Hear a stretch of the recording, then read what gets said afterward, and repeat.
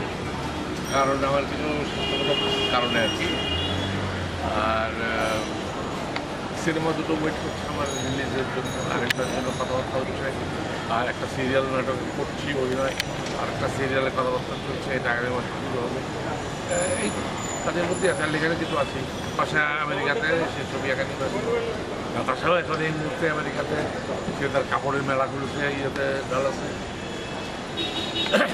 উড়ি আসতে পারি। এখানে কি করে? ম্যাক্সিমাম খেলা দেখি বসে খেলা দেখলে টেলিভিশন খেলা থাকলে আমার আর কিছু লাগে না। হ্যান্ড বলে এসে আপনার কেমন লাগে? এইখানে ভালো লাগে। খেলা তো হয়ে গেছে এর আগে।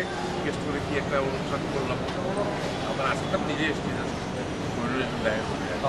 আমরা আশা করি আগামী বাচ্চাদের সাথে আপনি যদি আমি খুঁজে থাকি আর যদি আমাকে ডাকে আর কি।